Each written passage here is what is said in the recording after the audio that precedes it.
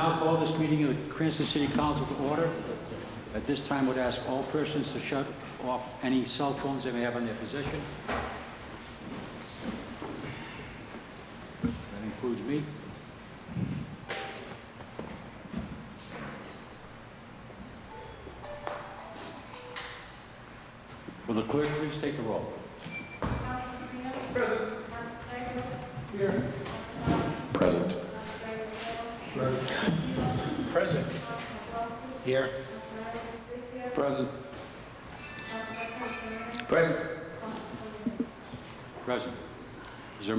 Dispense with the reading of the minutes of the last meeting?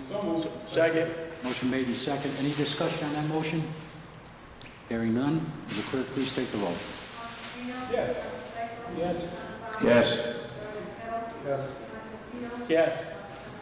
Yes. Yes. Yes. Yes. Clerk, please stand and join me in the Pledge of Allegiance. Under public acknowledge-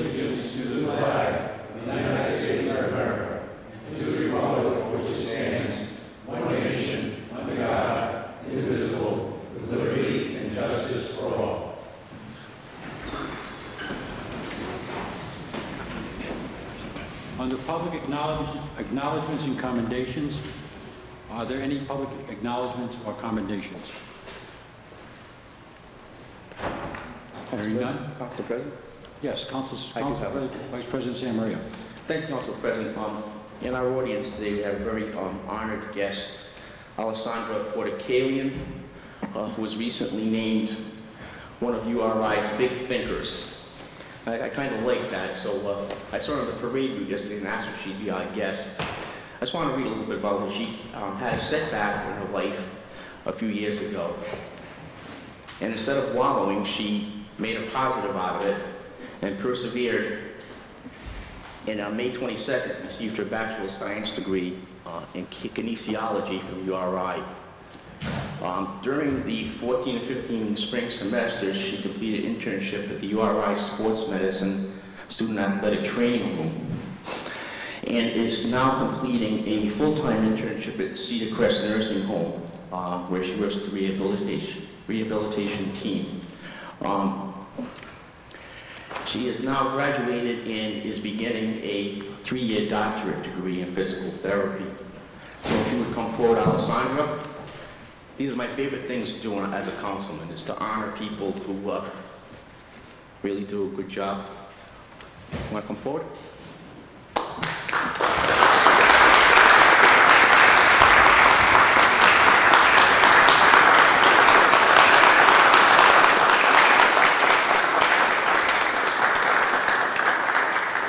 On behalf of the full city council, congratulations.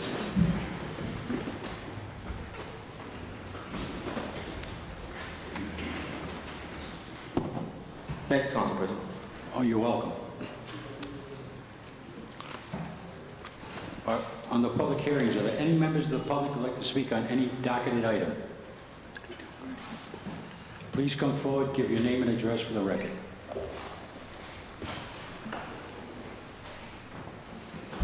My name is Pauline DeRosa. Oh, thank you. My name is Pauline DeRosa, and I live at 97 Cypress Drive in Garden City. And I would like to speak to the issue of the proposal for the development of the parcel at 100 Sockanosset Road.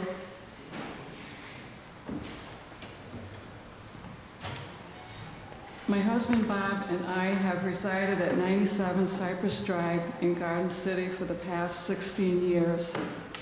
In those early years, Garden City was known as a bedroom community. Relatively quiet, safe, and a great place to raise a family. But as history has shown us, development has infringed on some of those qualities of safety and livability. The neighborhoods of Garden City, Garden Hills, and Eden Park have been impacted by those changes. Most notably is the increase in traffic on Sockanosset Cross Road, Pontiac Avenue, and Route 37 westbound and eastbound, as well as Route 295 west ramp. At that intersection, the Shell Station and Brewed Awakenings are on opposite sides of the road with customers leaving those lots and trying to turn left across all lanes of traffic and creating a gridlock. This is a nightmare without the addition of any further vehicular traffic. This is unacceptable and therefore begs the question, what is everyone thinking about? I am referring to the proposal brought forth by Mr. Carpionato to change the former Davol building site at 100 Sockanosset Crossroad into a six-story building that would mimic the aesthetics of the exis- existing Chapel View site. I am certain the project, when completed, would be very pleasing to the eye, but that is not our primary concern. Also mentioned in the proposal is the potential addition for a Target or a Costco.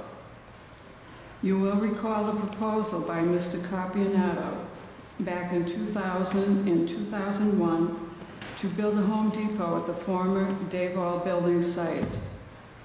That proposal was rejected because of traffic concerns. So we are we are a bit perplexed about how this proposal can be thought of as a great idea for the city of Cranston when we are all aware of the ramifications of added noise and traffic to the surrounding communities. We are proponents of development in our city, but with limits.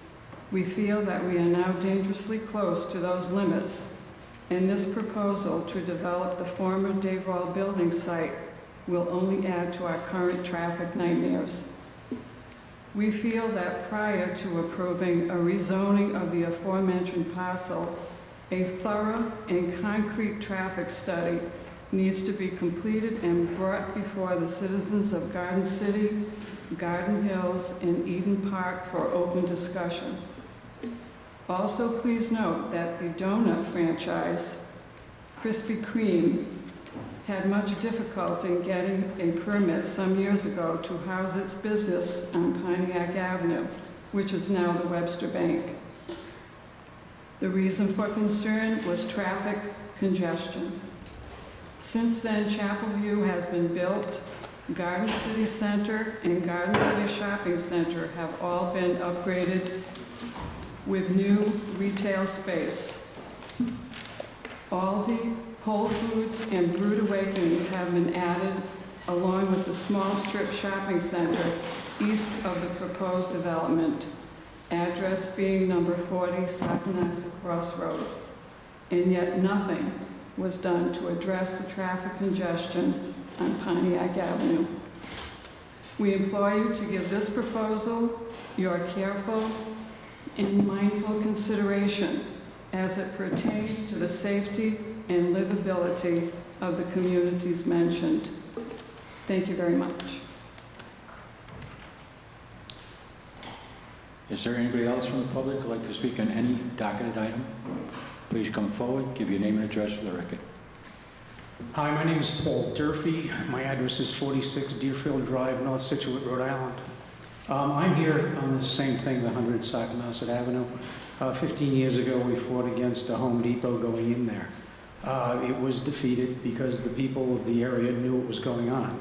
Uh, right now, we're in the middle of July. Not very many people know what's going on. Uh, Mr. Coates, during uh, the meeting with the planning board, said that uh, he didn't necessarily think that they needed the uh, home improvement center in there, and if, if it doesn't need to be there, I would like to see it removed. As the young lady before me said, there's a lot of traffic in the area. The last thing we need is a big box store with beeping and backing up on the uh, fork trucks, and I'd like to see it removed.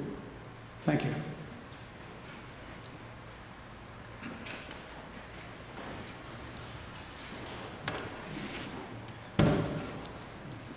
Anybody else from the public? Representative? Hi, good evening, Council President. Uh, I'm uh, State Representative Bob Lancia. I do represent District 16 in Cranston.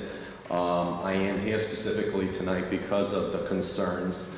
Uh, I heard about it a few days ago. I saw the article in the paper. And since then, I have been getting emails and I have been getting phone calls from constituents. My only purpose for being here this evening is to let you know, I think she really read, the letter she read was very succinct, very well written, and I think clearly uh, delineated what the situation is, the concerns that people have.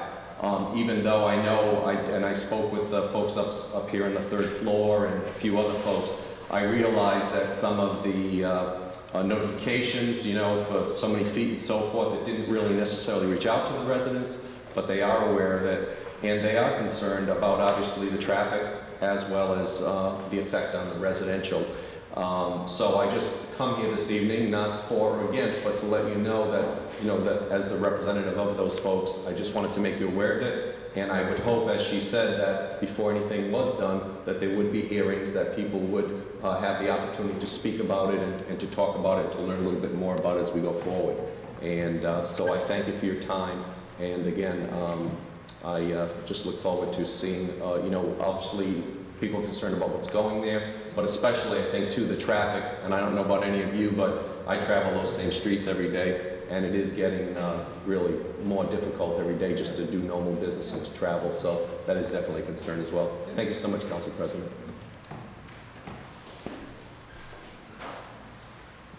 Anybody else in the public like to speak on any docketed item?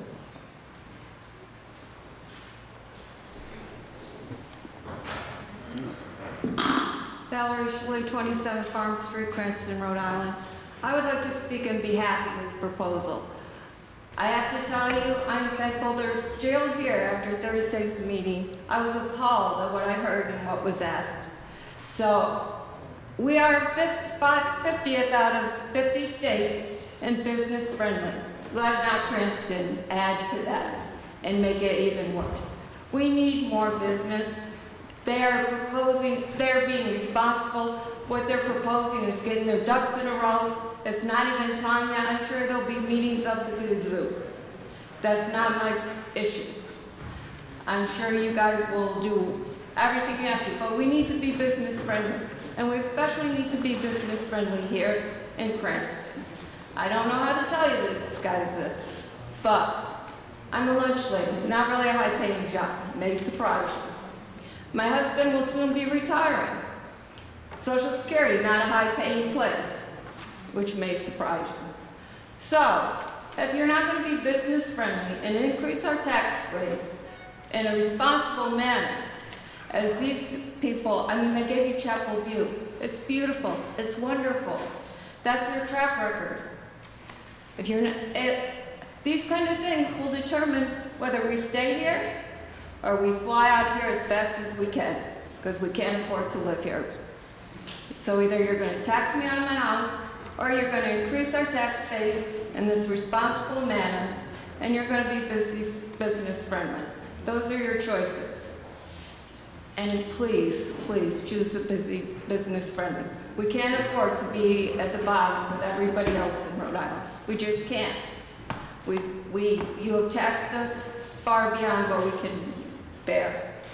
And I would like to say, just once, with increase in taxes, I mean, he, he's proposing going up to a million two from 650.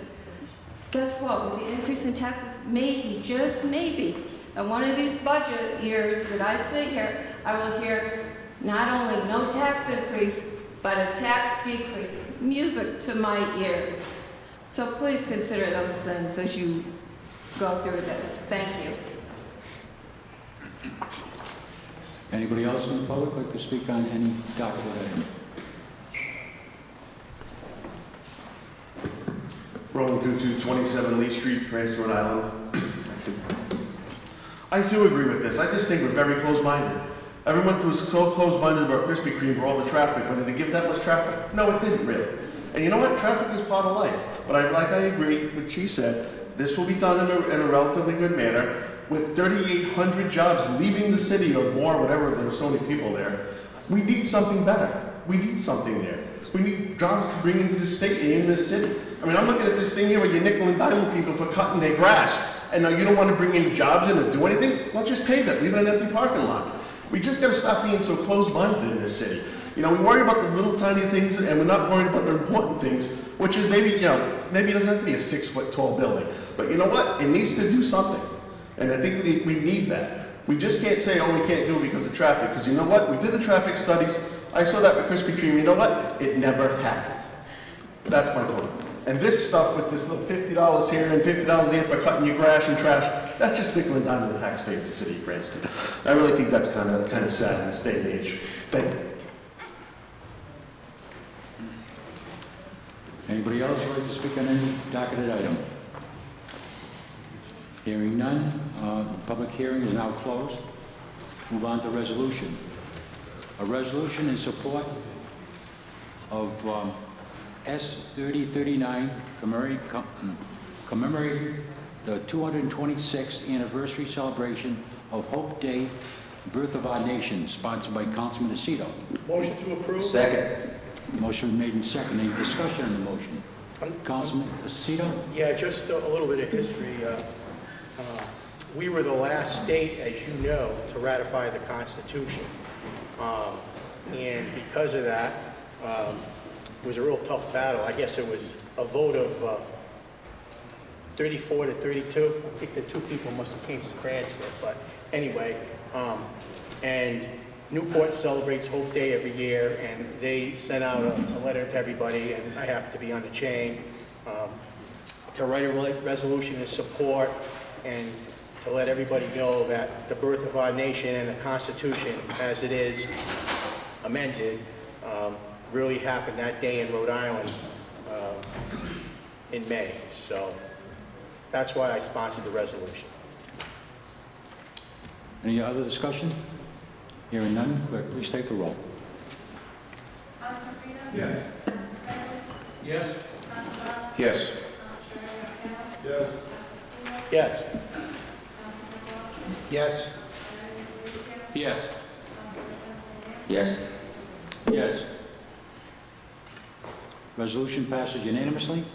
Uh, Report of committees, Public Works Committee, Chairman Aceto. Uh, Thank you, Mr. Council President. This uh, ordinance came in front of the regularly scheduled July uh, committee meeting, and passage is recommended. Second. Motion made and seconded. Under discussion, Councilman, Council President, this time I'd like to just throw a friendly amendment out there. I talked with my colleagues um, to add the words "in box springs" after mattresses, um, just so if someone just dumps a box spring, they can't use that as a loophole to get out of paying the fine. So uh, I've talked to my colleagues, no one seems to have a problem with it, so I urge uh, the passage of that amendment. I'll second it. All right, amendment's been made and seconded. Any discussion on this amendment? Hearing none, clerk, please take the roll. Yes. Yes. Yes. Yes. Yes. Yes. Yes. Yes. Um, Any discussion on the uh, ordinance as amended? Hearing none, clerk, please take the roll. Yes. Yes. Yes. Yes. Yes. Yes. Yes. Yes. Yes. Safety Services License Committee, uh, Vice President Santa Maria. Chair. Thank you, Council President. Uh, This is the Class B victualling alcohol beverage license uh, for Diversey, uh, was passed unanimously in committee. Uh, I urge passage. Second. Motion made and seconded. Any discussion on the motion? Hearing none, clerk, please take the roll.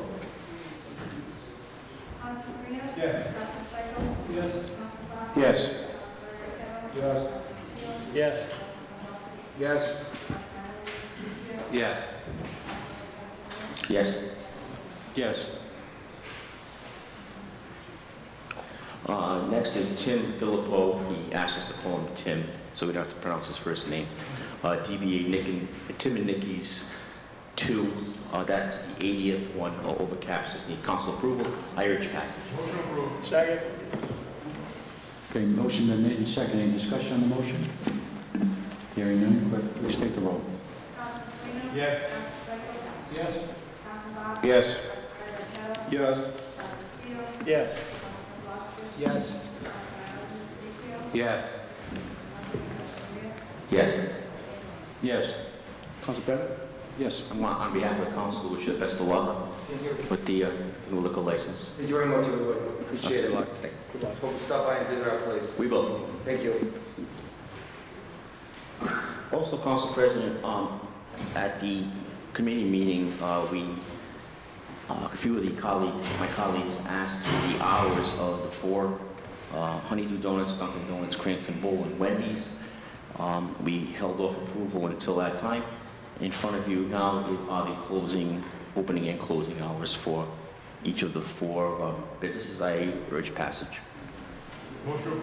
Second. Motion made to approve the, uh, as a block, and there's a second. Any discussion on this motion? Hearing hearing none, clerk, please take the roll. Yes. Yes. Yes.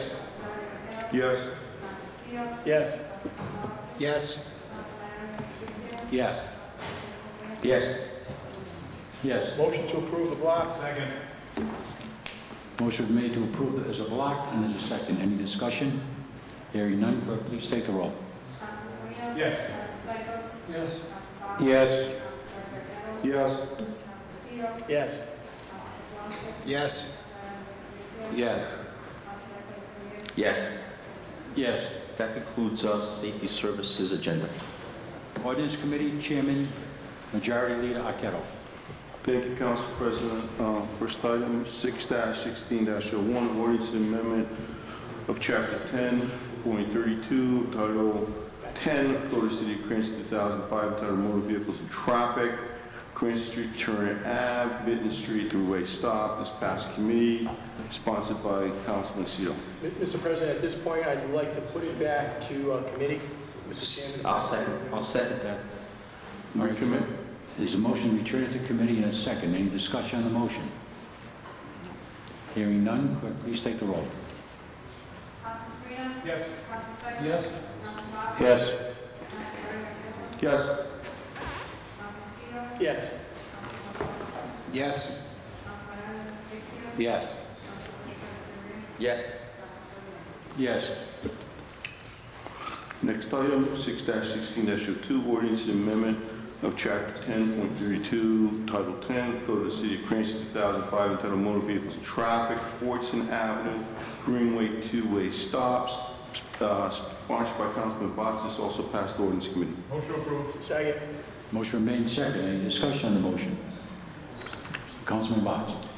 Thank you, Council President. I just explained, uh, explained in committee, but I'll explain it again for the uh, people that weren't there. Um, There's a, uh, three, currently a three-way stop right there, and uh, there's a hill that during the winter, uh, constituents complain that they have to stop going up the hill, and then if there's icy conditions, they can't get going again. So what they want to do is actually take away a stop sign uh, going up the hill, uh, and then keeping the other two stop signs uh, going the opposite direction, coming from the three-way stop. So uh, I urge passage. Any other discussion? Hearing none, clerk, please take the roll. Yes.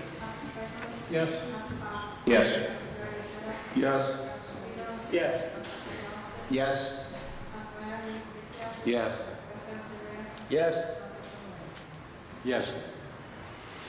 Okay, next item, 6-16-03, ordinance and amendment of Chapter 10.32, Title 10, Code of the City of Cranston, 2005, entitled Motor Vehicles and Traffic, Abbott Abbott Street and Highland Street three-way stop, sponsored by Councilman Paplauskas. Motion approved. Second. Motion made to approve in a second. Any discussion on the motion? Hearing none, clerk, please take the roll. Yes. Yes. Yes. Yes. Yes. Yes. Yes. Yes. Yes. Next item, 6-16-04, ordinance in amendment of Chapter 10.32 of Title 10 Code of City of Cranston, 2005, titled Motor Vehicles and Traffic, Case Street, sponsored by President Lanni. This also passed ordinance. Motion approved. Second. Okay, motion made, second. Any discussion on the motion? Hearing none. Clerk, please take the roll. Yes. Yes. Yes. Yes. Yes. Yes. Yes. Yes. Uh, Before we go any further, all these ordinances dealing with stop signs uh, have to go before the Traffic Commission for a report.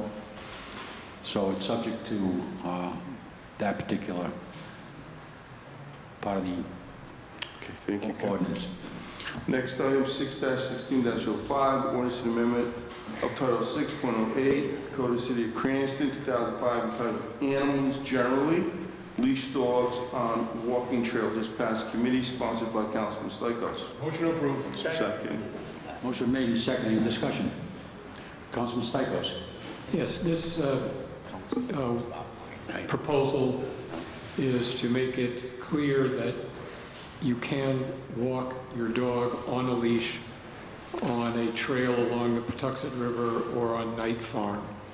So it, number one, makes it clear you can have your dog there, and number two, that the dog needs to be on a leash. Okay, any other discussion? Clerk, please take the roll. Yes. Yes? Yes. Yes. Yes. Yes. Yes. Yes. Yes. Last item, 6-16-09, ordinance in amendment of Chapter 17, Code of the City of Cranston, 2005, titled Zoning, Change of Zone, 100 Sockanosset Crossroad. I believe this passed committee with only one dissenting vote. Um, Entertain a motion? Motion approved. Second. Motion made to approve, and there's a second. Any discussion on the motion? Uh, Councilman Stycos? Yes, I'd like to uh, make an amendment. Uh, I'm looking at, uh, online, I'm not, there's not a, a line number, but to uh, where the category Home Improvement Center is listed as a permitted use in this uh,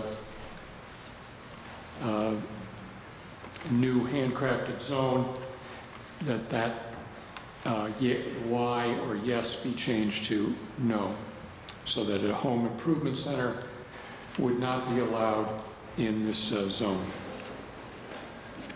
I'll second that. Motion made and second. Any discussion on the amendment? Councilman Vecchio?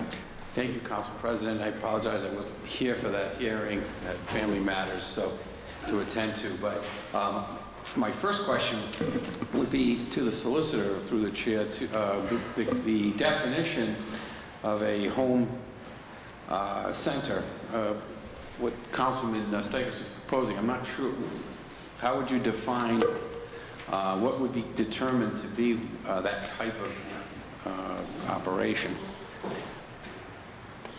Are we, ex- I mean, how, I, I know, I think I understand what you, you're trying to exclude is Home Depot, is that the way I get it? Or Lowe's. Or anyone else. I haven't reviewed it, but I believe it's defined in the, the code, the city code, is it not? Home center? Yeah, I, And I'm not sure the def, do you know the definition? I- Okay, but, I apologize, I haven't. yeah, no, I, I, I know, I, my other, the, the issue being like, what else would it exclude and, and what, you know what I mean, what would be included in that definition?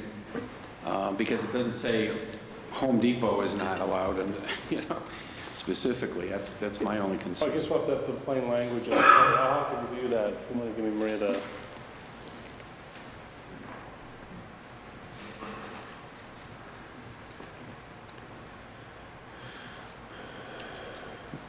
You still researching this, or? I um,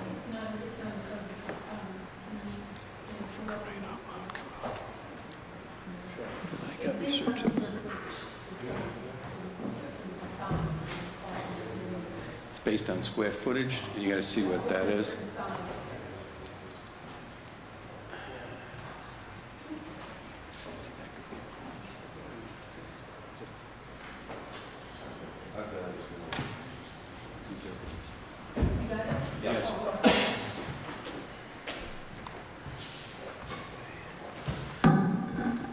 It's in the definition section of uh, Chapter 17, which is the, you know, the Code of Ordinances. Home Improvement Center means a facility of more than 30,000 square feet GFA engaged in the retail sale of basic hardware lines such as tools, builders' hardware, painting glass, housewares and home appliances, garden supplies, and cutlery. That's uh, directly out of the code definitions. So, Mr. Quinlan, is, um, if I may continue, Council President, so that, um, in your opinion, what would that exclude other, besides Home Depot? I mean, there are some stores that carry multiple items, Walmart's, for example. Walmart would carry maybe some tools, but they carry a lot of food as well. Uh, But I think, uh, Councilman, if you're, Yeah. okay, sorry. Um, Engaged, I think the key language after the definition of how many square feet, the key language is engaged in the retail sale of various hardware lines. And then such as, there are examples following it. So I think it's a hardware store or something that sells predominantly hardware by definition. Um, And it just gives examples of the types of things. So over 30,000 feet, uh, specializing in selling hardware, uh, basic various hardware lines. But it, but it doesn't say, yeah, it doesn't, if you have a small tool section, but you have a, uh stop and shop, um, would that be disqualified? Um, I mean, I think every, every grocery store has a part of an aisle that sells uh, tools or, you know, pliers and things, but I think if you read the definition in good faith for its plain meaning, I think it does mean that it's predominantly a hardware store. And all of those little ex- are just examples after following the words such as. So I think it means a large hardware, a hardware store over 30,000 square feet in size, And- as the code defined it at some point. And could I ask through the chair to Mr. Coates as to what their um, I feeling have is? no on- objection to that. Thank you, Council President. Mr. Coates, would you mind? uh, uh, Mr. Chairman, uh, we are setting the foundation for the development. We do not have any current conversations with Home Depot. We're looking to go vertical and to go much more upscale than that kind of development. And so our only concern on this matter is, um, is our concern about our ability to lease to Crate and Barrel, even though they're already at Garden City, or their direct competitor, or someone has lines of business that's similar to that. And so I will say that, uh, you know, we're not putting in a Home Depot. That's, that's not our motive here. We have 300,000 feet, 307 to be exact, 1,000 square feet of office with thousands of employees. That intensity of development allows us, right, to pay more taxes. And we're looking to more intensify the development, not to de-emphasize with a large parking field. So our main area of focus of development is to eliminate that and go forward. And so um, we do have the preliminary site plan process, major land development process, and final site plan process through the planning board, which the neighbors get notified on, the councilman gets notified on, and that we will work through with you on the process. So this only sets the zoning, it allows the general uses. And then our proposal is intensity. It allows six stories. So our intent is to build a development that more mimics Chapel View, Mr. Chairman. Thank you. Okay. Uh, Council Vice President Santa Maria? Okay, I defer to Councilman Farina? Yes. Yes, okay, Councilman Farina. Thank you, Council Vice President. Um, My only concern with this amendment is, is not necessarily with the amendment, it's with the definition as it stands. Um, I think of a 30,000 square foot store, I think of potentially a restoration hardware, I think of potentially a crate and barrel, I think of a Douglas lumber kitchen viewing center. Um, These are all low-impact kinds of businesses that would be ruled out by removing this definition. Um, I actually recommend we change the definition to increase the square footage to make it more akin to eliminate the Lowe's and the Home Depot, something like 90,000 square feet GFA. Uh, Then I could potentially support it, but 30,000 square feet, I mean, a lot of your, your retailers are shrinking. They're going smaller. You're gonna see companies, like even, even Staples, um, I happen to work there. They're going from a 60,000 square foot plan to a 35,000 square foot plan. Everything's coming down. And with 30,000 square feet being the only real clarifier here, you know, I read this, it doesn't read to me that it says it sells predominantly hardware lines. It just says a facility of more than 30,000 feet is engaged in retail of basic hardware lines. Doesn't say they could sell anything else. If they're selling hardware and they're more than 30,000 square feet, if we eliminate them, they can't come. That's my fear with this, with this change. Uh, Councilman Stycos?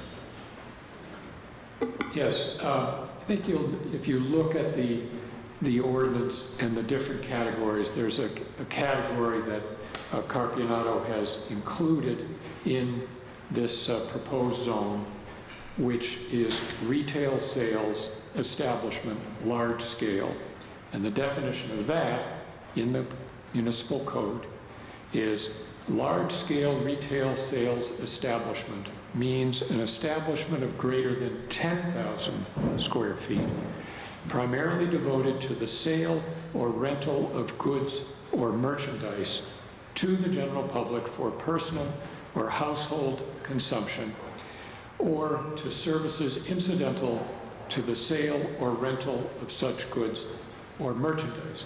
So a crate and barrel, if it's uh, greater than 10,000 square feet, obviously falls under that definition, not the more specific uh, home improvement center definition. So I think the, the bringing of uh, Target or Costco or Crate and Barrel or these places into the discussion is, is really not what this amendment would do. It would bar just what it says, large home improvement centers of greater than 30,000 square feet. So um, I would urge people to, to vote for this. I think that uh, uh, we don't want to give a, a, uh, a blank check to do this. And we've all seen how the economy can change. I know, you know, uh, eight, ten years ago, there were all these plans for uh, residential development in Western Cranston, and then the economy crashed, and all those, uh, not all of them, but most of them, uh, were put on hold.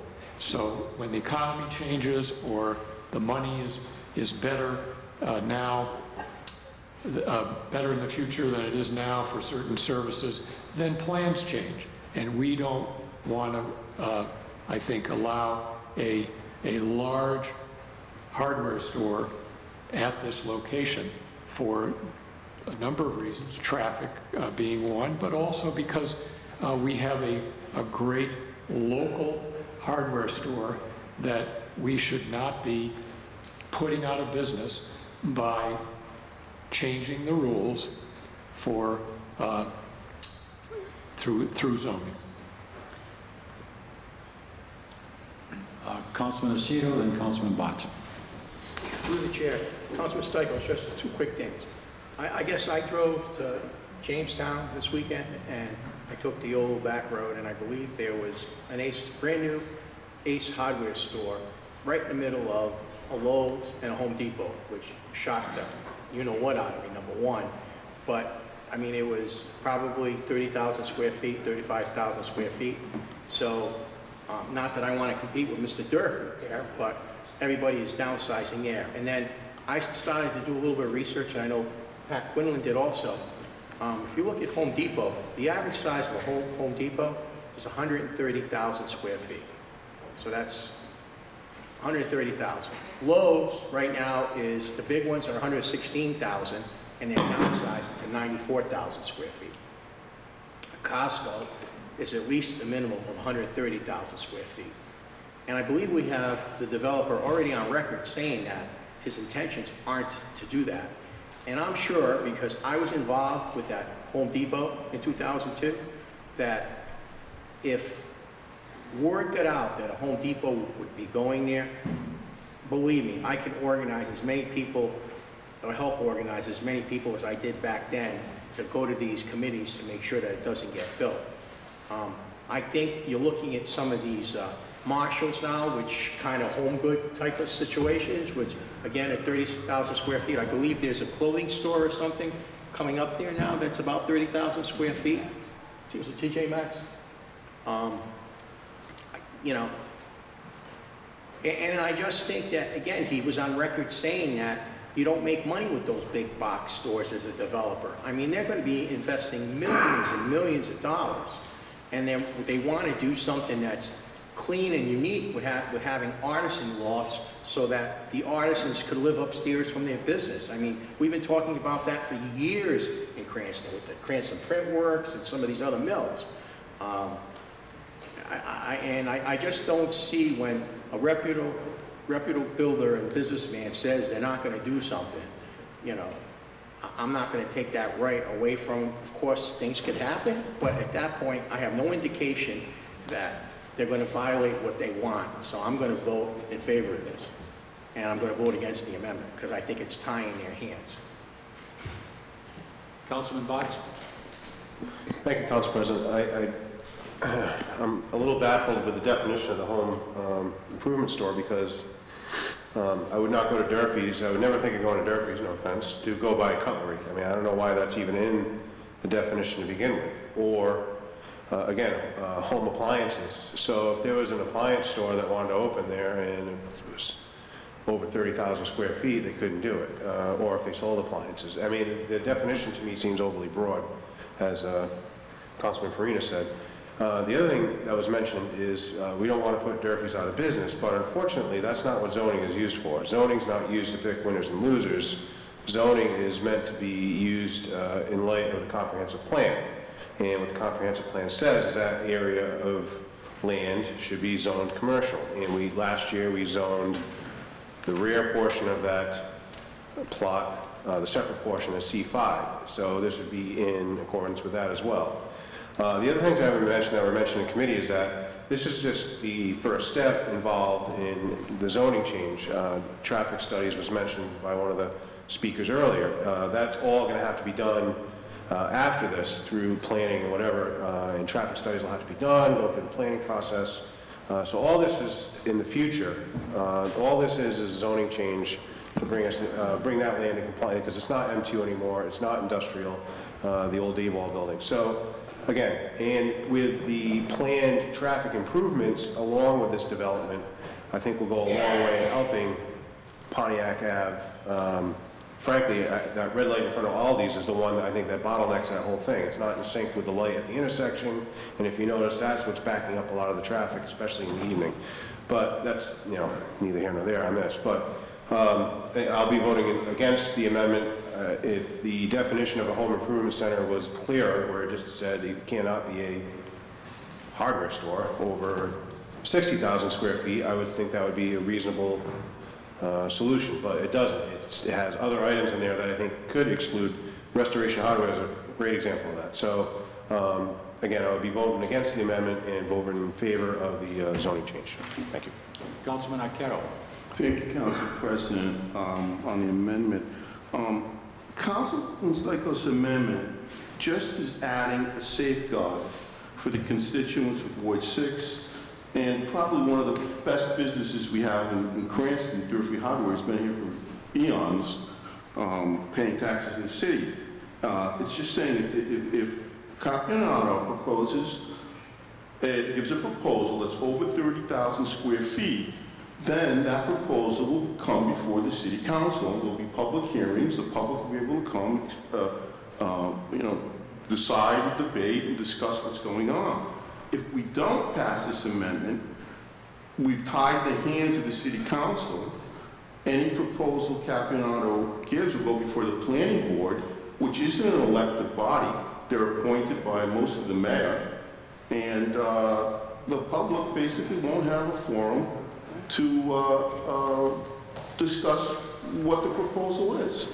So this amendment doesn't prevent Carpionato from doing anything. It just says, if Carpionato makes a proposal that is in excess of 30,000 square feet, that proposal must come before the city council. So you're empowering the city council, you're empowering the people, and it's the right thing to do, and I'll be supporting the amendment. Uh, Councilman Lucido. Um, I believe it was Councilman Botts who mentioned something. This is directed to uh, City Solicitor and Mr. Quinlan. So, Mr. Quinlan, if, if we pass this amendment, aren't we kind of protecting a business from zoning? I mean, you're passing a zoning law protecting a business? I mean, you really can't do that, can you? Just so I'm clear with your question, so what you're saying, if, if the pending amendment on the floor is passed, that would be helping a business and we can't do that, is that the question? Yes. Um, In the, in the abstract, no. Okay, in the sense that anytime you grant zoning to build something, it creates competition for someone in the city. Uh, If the specific reason for adopting an amendment would be to protect a particular store or to oppose an amendment just to protect a particular store, I think a court would find that suspect. But in the general sense, I mean, every time you put in a retail development, it creates some competition with someone else in the city. I think if the specific intent and the articulated intent is to protect a particular business, I think you'd be in trouble on the ordinance or the change. Councilman Farina.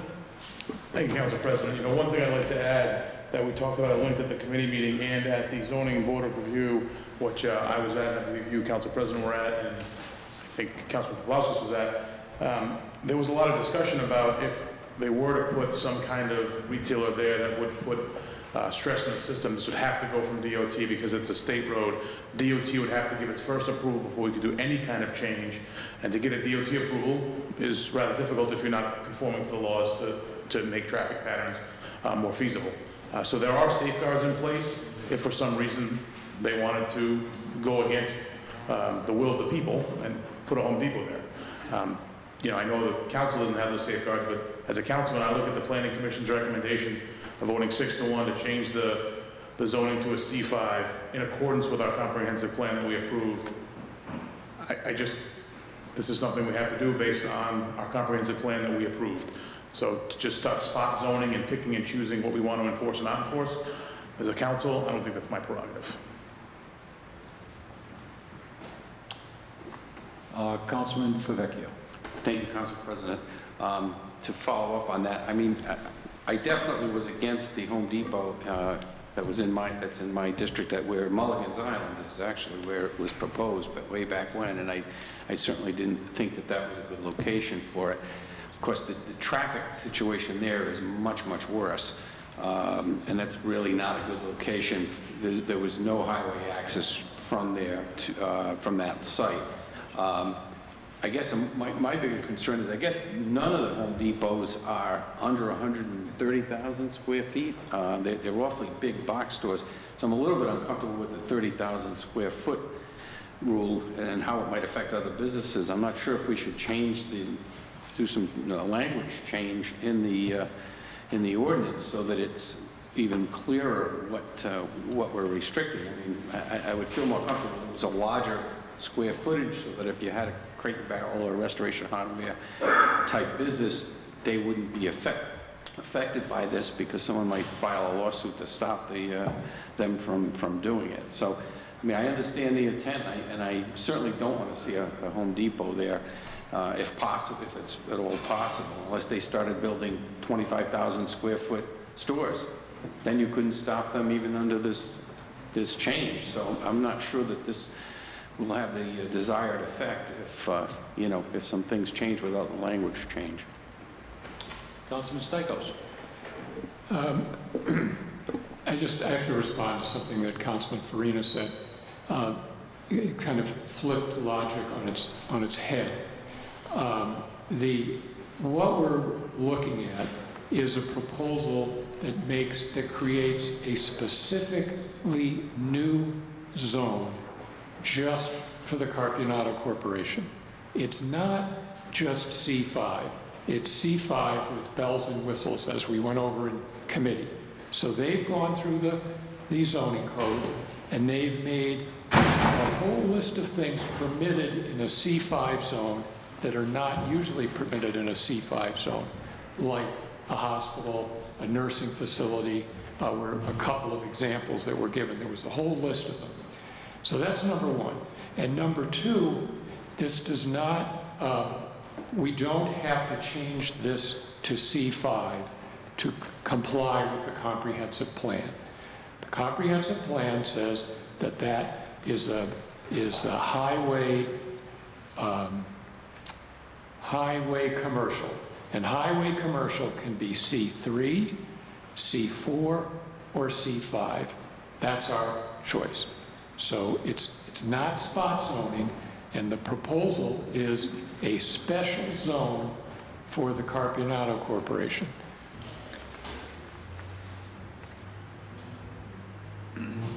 Any other discussion? Uh, I'll put my two cents. My question, I just want a question for, through the chair to Councilman Seal. When he raised the question that we're changing the zone for a specific business, what business was he alluding to? That, that was mine. Did you have a business in mind? Were you, Yeah, no, I'm just general hardware. I mean, if you're, what if you're a kitchen and cabinet place? What if you're a tile shop? You sell tile saws. I mean, it's, it's, it's, you know, you go into some of these um, mini home improvement centers. I mean, in South Kingstown, the lumberyard has a, a kitchen and bath place. You go into one part, it's granite and tile. You go into the next part, you can rent tools. You go into the next part, you can buy tools. All right, thanks. And, and it's probably 30,000 square feet or less. Okay. Uh, I'll end the conversation with my two cents. Uh, The planning commission, as Councilman Farina said, passed this six to one. This debate was held before the planning commission. We were there, we listened to it. Many of the same questions that came up tonight were asked at that, that meeting, and they passed it six to one. They also mentioned that Rhode Island Department of Transportation will be working with the Carpionato Corporation to straighten out the intersection at Pontiac Avenue, be a joint venture, similar to what they did on New London Avenue, to straighten out that mess. Carpionato Corporation assured us, before the planning commission, before this council, before the committee, that there was not going to be a Home Depot or a Lowe's at that location. They assured us this. And I'm sure you put it in writing if you needed it. Everybody thinks they have an ulterior motive. But they haven't shown us in any of the developments that they have an interior, ulterior motive. Whatever they said they were going to do, they've done. They've got a track record um, that's beyond compare. When you look at Chapel View and what they've done with that particular area, I think it's admirable. In addition to that, currently they're paying about $500,000 in taxes. It's going to increase when this project is completed to $1,200,000, double the taxes that we are currently getting. $500,000 in new taxes will go a long way in this city to keep the tax rate stable with the taxpayers of this city. It's one step in being business-friendly. If we're not going to be a business-friendly community, then our taxes will continue to climb. So we have to make a decision. We allow no businesses in Cranston, or we allow businesses in Cranston. And I understand the safeguards that Councilman Stycos is trying to put on there. However, I think they're too stringent, and I'm going to be honest with you. I admire Councilman Stycos, I think he does a great job, but I have to disagree with him on this particular subject, and I'll be voting for this. The clerk, please take the roll. Point of information on the amendment? This is the amendment only. On on the on the amendment. No. Yes. no. Yes. No. No. No. No. No. Now on the ordinance itself. Any discussion? Councilman Favicchio, then Councilman Stycos. Thank you, Council President, and uh, thank you for indulging me a little since I was not able to attend that meeting.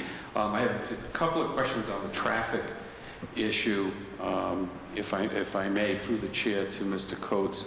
Because I remember we've been dealing with some other uh, land that, that that Carpionato Corporation has been uh, attempting to buy on New London, which will have some impact on this um, development in the future. And, I- and I I believe that that's still a viable um, project as well, which could help alleviate some of the congestion from the entrance on New London Avenue. Is that, is that correct, uh, Mr. Coates? Yes, sir. Uh, Just, uh, just recently, the mayor forwarded the, uh, um, a requested communication to the State Department of Administration requesting that they expedite that.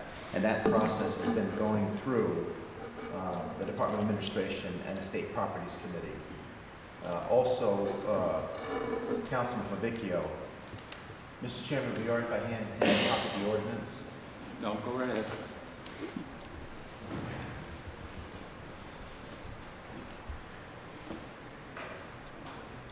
So what Councilman Farina referred to earlier is that as part of this ordinance, which was required by planning staff, as required of this order, ordinance, uh, Mr. Mr. Council President, it requires that, um, that the development meet all the requirements of the traffic ordinance passed by the Planning Commission. And so that includes not only, uh, those are rigorous requirements that we have to go through. So when the final traffic generation is determined, then we would have to go through the improvements required to meet the city's independent traffic engineer who reviews it. And that, so that everyone is aware, that uh, piece of land on New London would, would create a jug handle entrance, a right-hand turn into Chapel View. That is correct. Yes, sir. It would create, it'll, it facilitates left turns in and enhances the front door nature of the project so that Pontiac is a secondary or tertiary entrance. We're also working with the state and with the city about a separate entrance from uh, a 37 on-ramp. And so that we would keep uh, traffic off of Pontiac.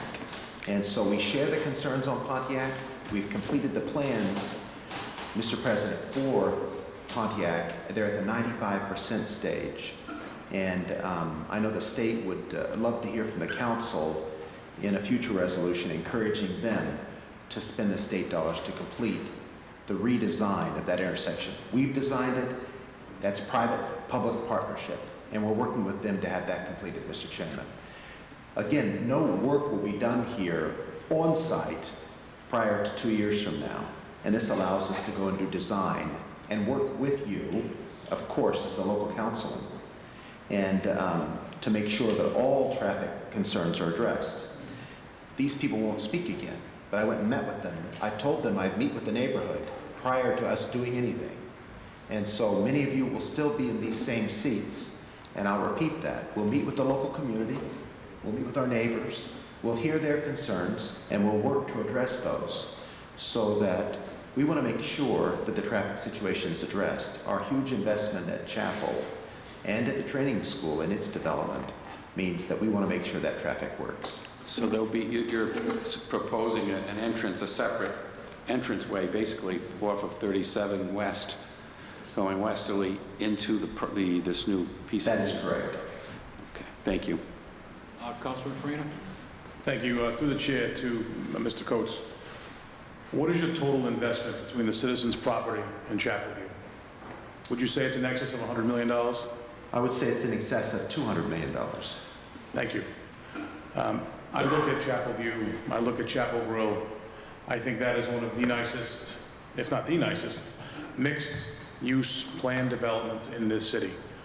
It has condos, corporate offices, small-scale retail, large-scale retail, grocery.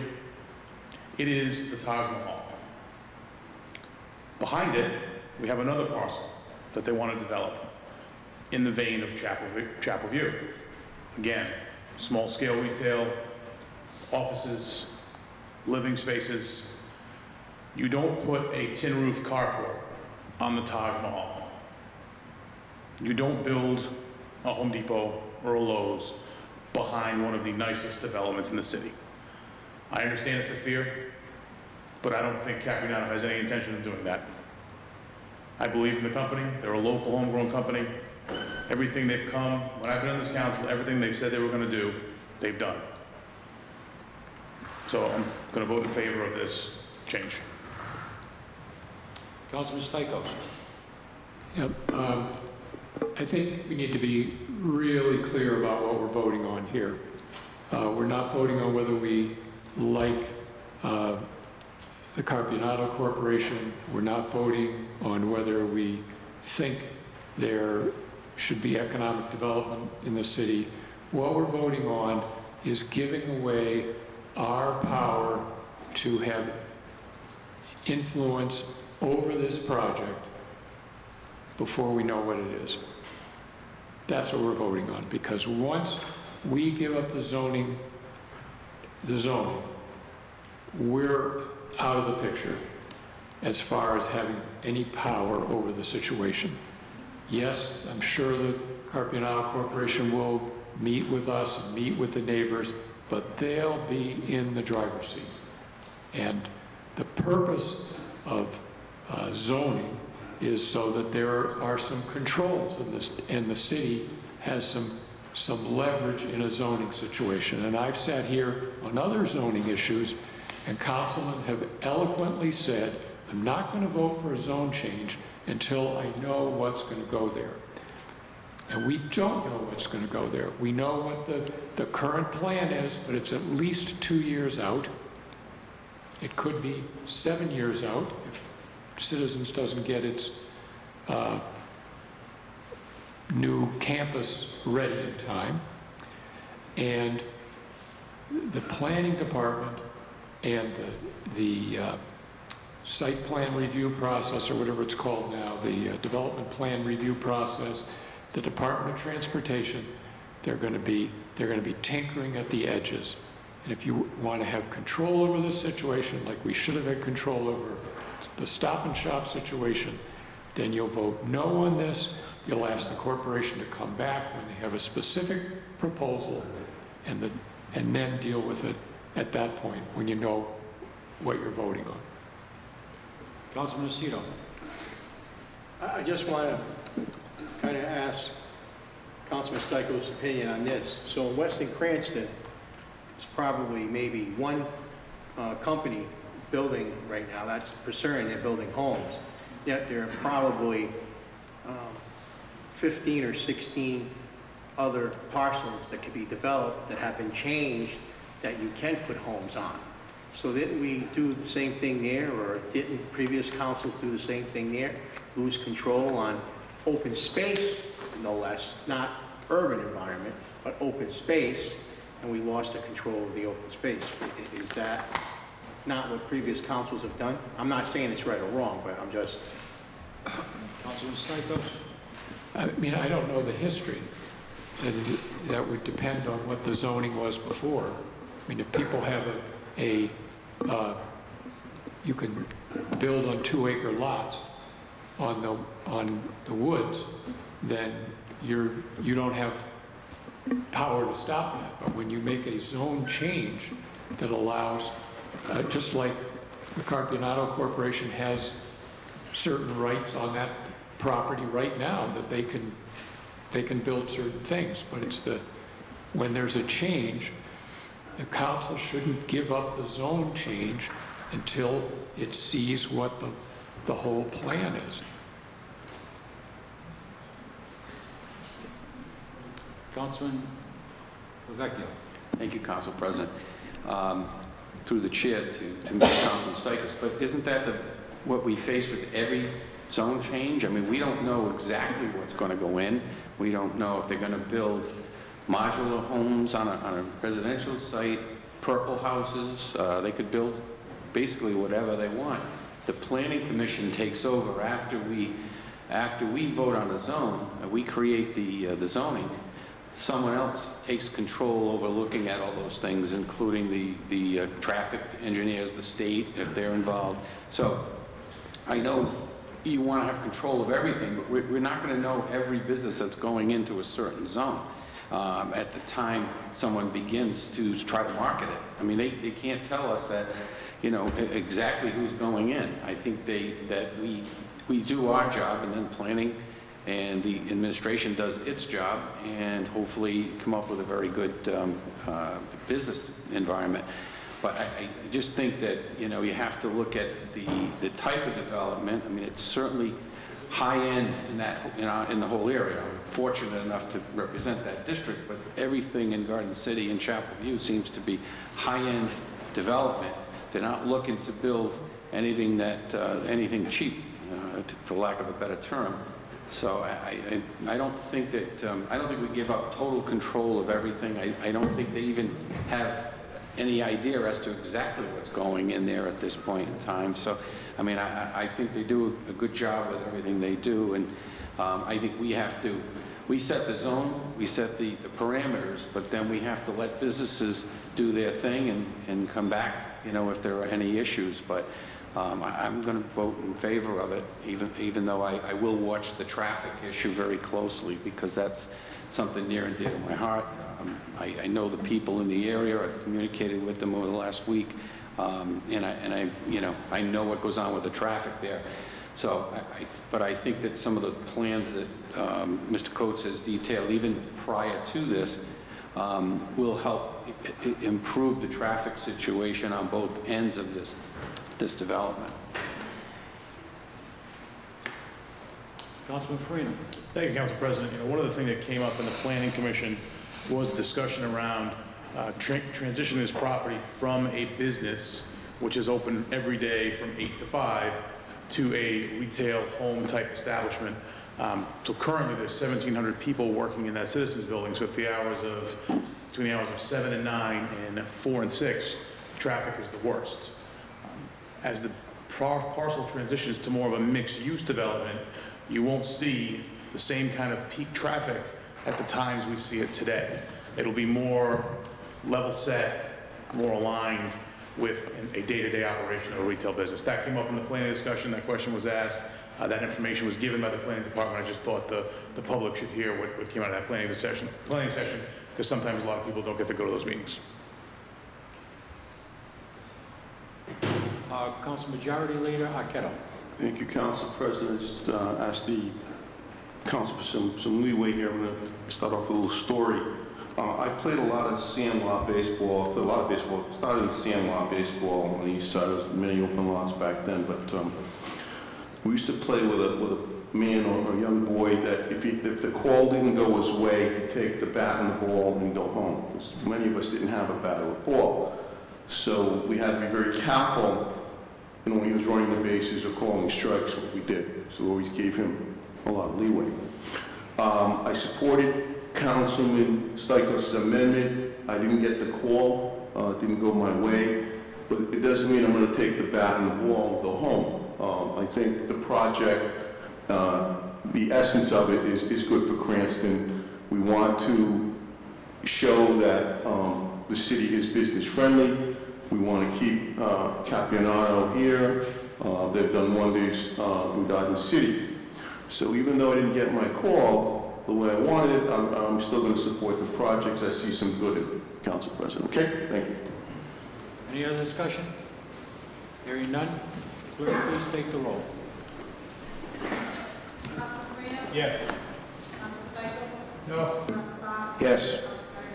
Yes. Yes. Yes. Yes. Yes? Yes. Yes. Ordinance passes. Thank you, Mr. President. Thank you, Councilman. members. Do you want this? uh, Finance Committee, uh, Councilman Stycos, Chairman. I just need a minute to get back on the right page here.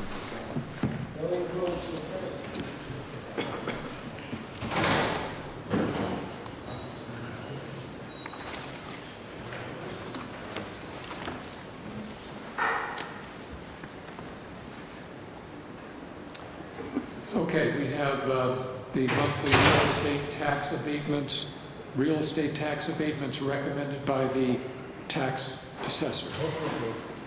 Second? Motion been made and seconded. Any discussion on the motion?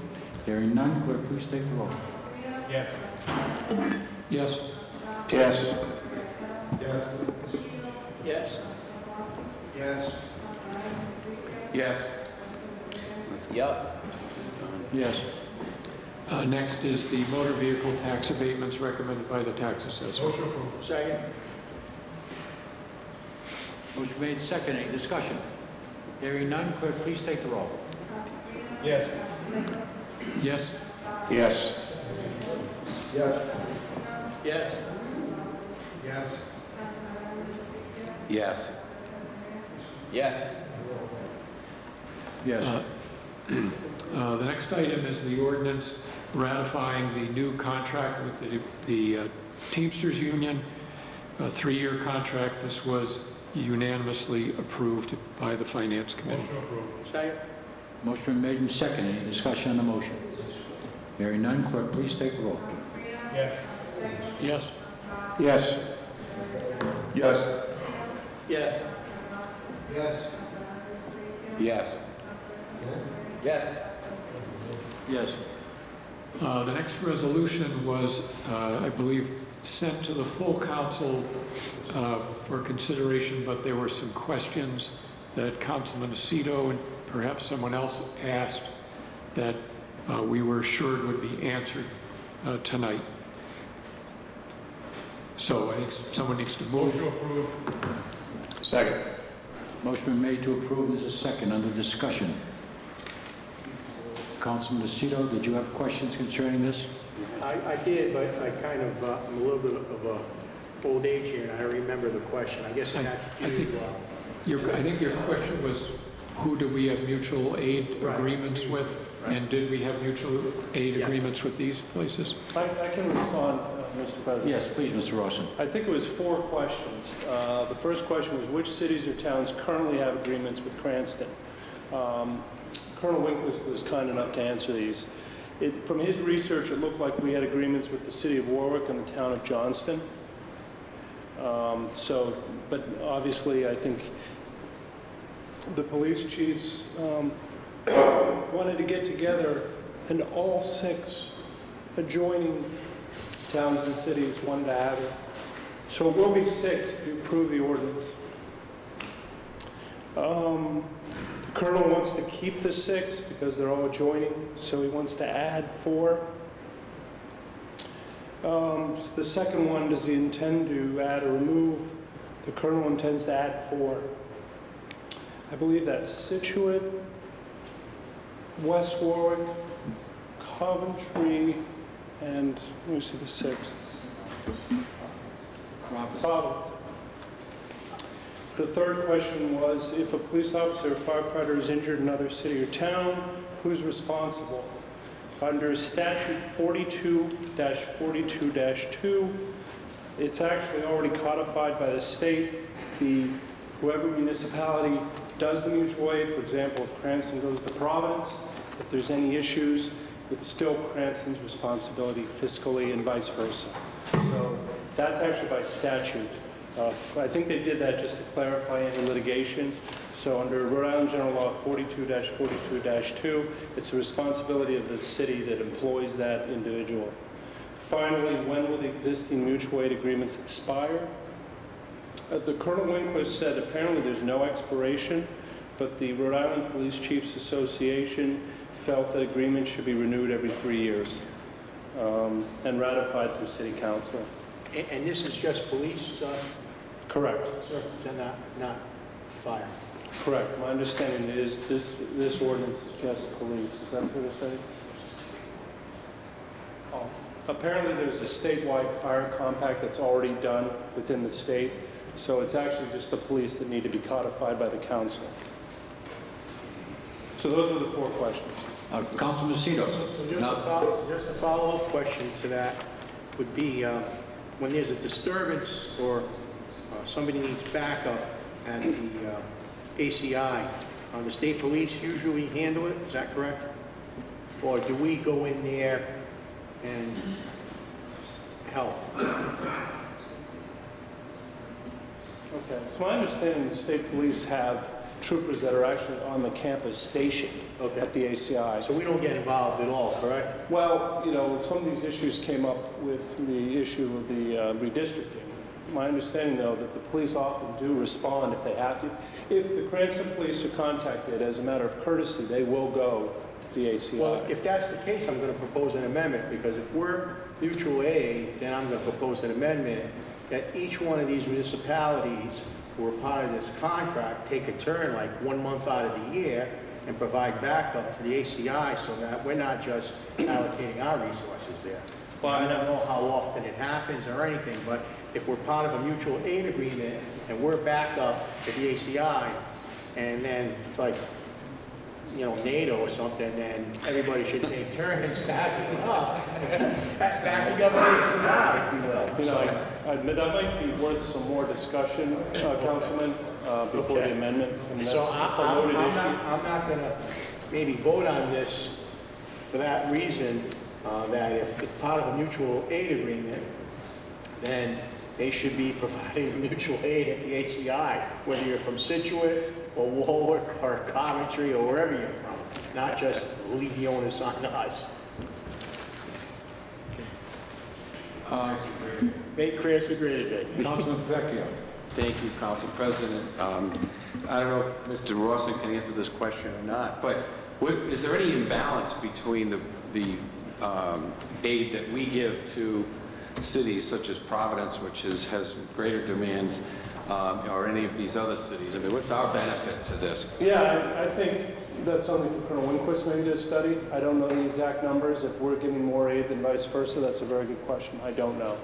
Colonel Winquist, if you want to propose that for next, I can certainly uh, inquire of Colonel Winquist the numbers. I think they'll have the numbers, to be honest. I mean, it- I'm just concerned that we're providing more aid to other cities than they're giving back to us, not just at the ACI, but on the borders, or if they need help in Providence, we would have to go there. Is that correct? I can't speak to that, but I can tell you Colonel Winquist is glad these mutual aid agreements are in place. So I don't think he has a real issue with the mutual aid, but Okay, again, if you want those numbers, you could probably get them. okay, thank you. Yep. Councilman Vecchio.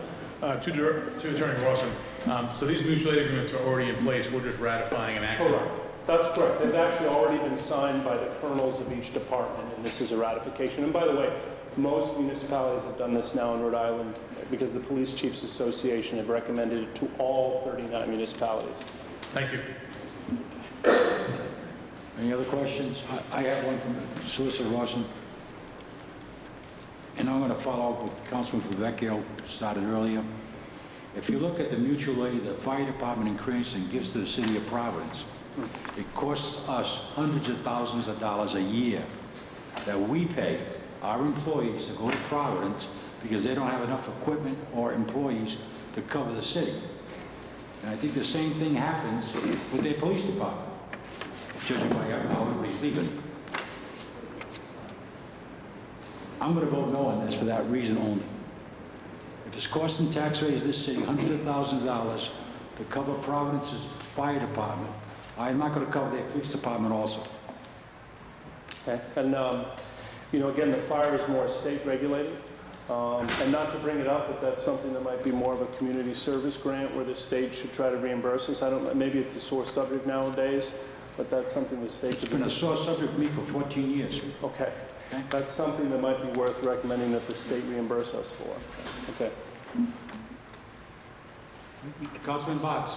Thank you, Council President. Uh, Mr. Ross, I have one more question. Um, At the beginning, you mentioned how uh, we currently didn't have an agreement with Providence. It's my understanding from Colonel Winquist's research that there was an agreement with Providence in, uh, in the files. That there was or was not? There, there was, excuse me, I'm sorry. There were agreement with Warwick and Johnston. There wasn't presently. with- So, so if Providence requested Cranston uh, mutual aid, we have gone? We, we do, would have gone, there's just no written agreement.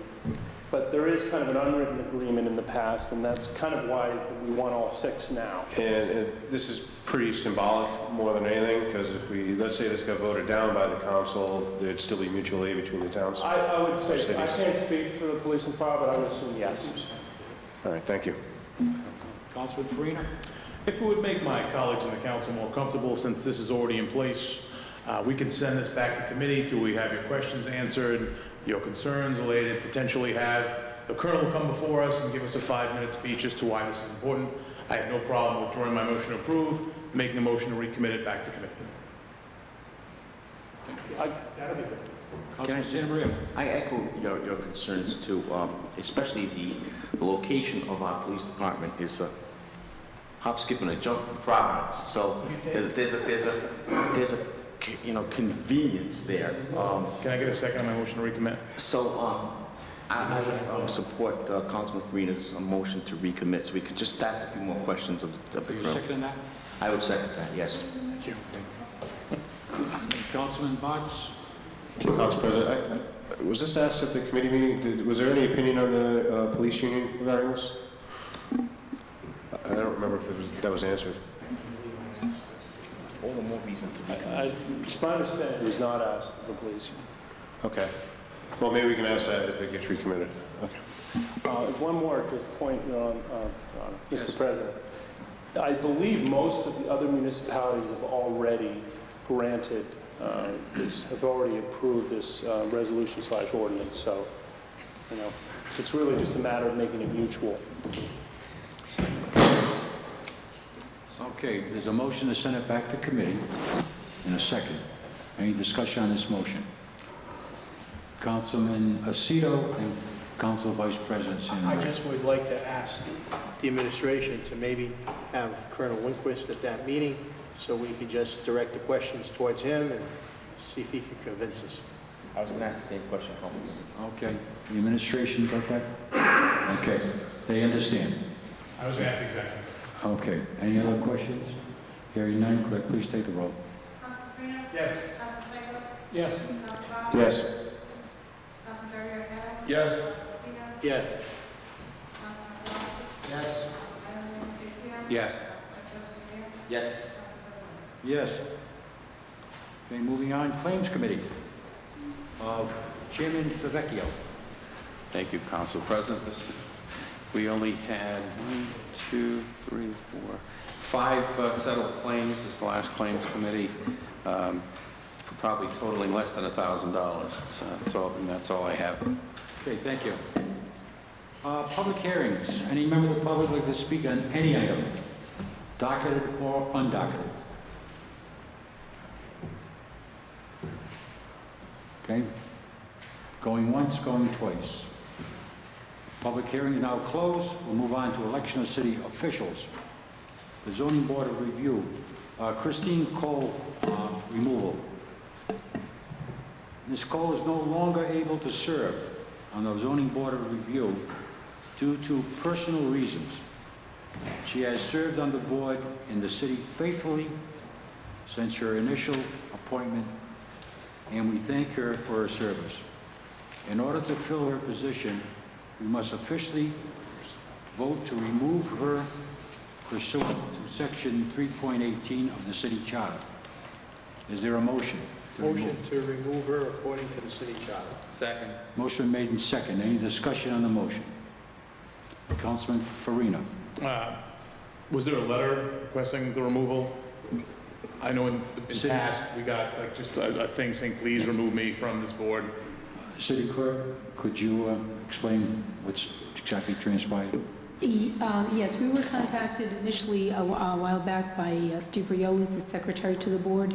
Um, Ms. Cole had made an announcement at the December meeting um, that she had some personal situation, and since that time, she has not attended any meetings. Uh, They have tried reaching her on several occasions uh, to no avail.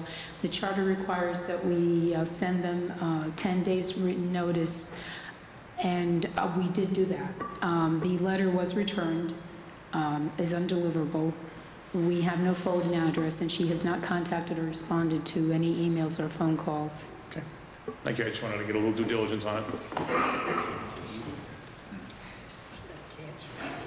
Uh, Any other discussion? Hearing none, clerk, please take the roll. Yes. Yes. Yes. Yes. Yes. Yes. Yes. Yes. Uh, Paula McFarland, uh, a new member or appointment from Ward 3 and 5, uh, to the term to expire July 28, 2019. Motion to approve. Second. Motion made and second to approve. Any discussion on the motion? Hearing none, clerk, please take the roll. Yes. Yes. Yes. Yes. Yes. Yes. Yes. Yes. Yes. Uh, Lori Carlino, uh, an alternate reappointment, Motion approved. ending July Second. 2017. Motion been made and second. Any discussion? Hearing none, clerk, please take the roll. Yes. Yes. Yes. Yes. Yes. Yes. Yes. Yes. Uh, The Cranston Library Board of Trustees, Frederick A. Miller, reappointment, term ending July 25th, 2019. Motion approved. Second. Motion made and second. Any discussion? Hearing none, clerk, please take the roll. Councilman Corino? Yes. Councilman Stycos? Yes. Councilman Bratz? Yes. Councilman Corino? Yes. Councilman Seal? Yes. Councilman Paplauskas? Yes. Councilman Trujillo? Yes. Yes. Yes. Cranston Library Board of Trustees, Regina Spirito, reappointment, term expiring July 27th, 2019. Motion approved. Second. Motion made and second. Any discussion? Hearing none, clerk, please take the roll. Councilman Yes. Councilman Stycos? Councilman Bratz? Yes. Yes. Yes. Yes. Yes. Yes. Yes. Uh, Executive Communications, report of hiring special counsel, etc., pursuant to Charter Sec- Section 1505. Mr. Coogan. Mr. President, the report on the hiring of counsel has been submitted to the members of the council uh, by the legal department. I've also uh, asked the clerk to distribute to the members of the council a report submitted by the building inspector, uh, his annual report on impact fees. And I believe uh, Solicitor Rawson will give his report on settled claims.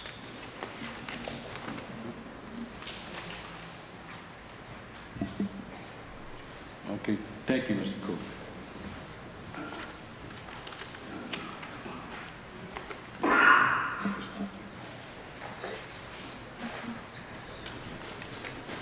Mr. President, on the settled claims, um, the first um, 2,600, that was a vehicle that was damaged by a city vehicle. Uh, Liability was 100%. Um, The 1,500 is the same accident, so with that's resolved. Uh, The two later figures, the Barenbaum um, of 16,500 was a flood issue back in 2005 as well as the payment to Amica on a subrogation for 10000 So that was a flood claim that had been pending for approximately 11 years, and that had gotten resolved for a total of 27000 Okay, thank you. Uh, Council President Communications. Mr. Council President? Yes, Council. Before you do that, can we, can we just, can I ask a question on the fees that came in? Is that permissible? The note we got? All right, who do you want to direct your question to? Uh, Di- Director Strong, this is showing that we collected 105,000 approximately. That's to end fiscal year 16, is that correct? Or is that, and does that include the extra payment we made to the police station?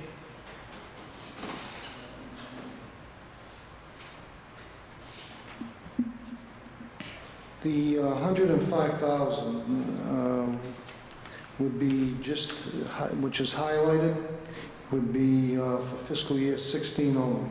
Okay, so there's a payment there for the police station. Has that been subtracted out already, out of that total?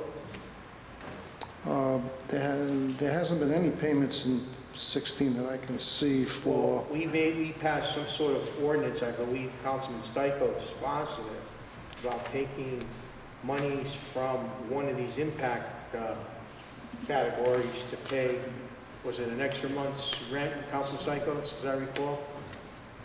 Yes, it was to put, pay part of the lease on the police Yeah. station. Part of the- that that was part of the uh, the budget, Right, correct, and that's for fiscal year 17. so 17. Yes. Okay, so, so this, this 105,000 will be transferred from the 16 budget in the various accounts to the 17 budget? Well, this, this 105,000 remains, it's not something that gets transferred, but as needed, and if we needed to do the, the, the rent, let's say, for the police station, we can do that by just drawing from it. So it's not a- really a transfer, it's just taking the money that's there and available. It's a rolling and a, um, a cumulative balance. It, you know, it's not something where if you don't use it, it, it, it goes to like a surplus account. That's, it, it just continues. to- Well, I mean, your impact fee fund, so the monies must remain in there, correct? That's correct. But what I'm saying, Councilman, is that that money, if we don't use it, say, it still remains there. Right. And you could use it the Right. following year. Right. Okay. Okay.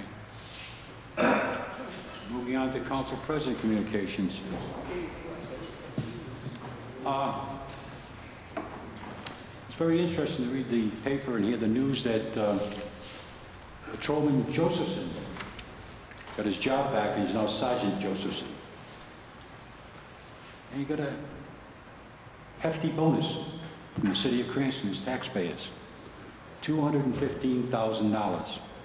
My question to the administration, what were our legal expenses concerning Mr. Josephson?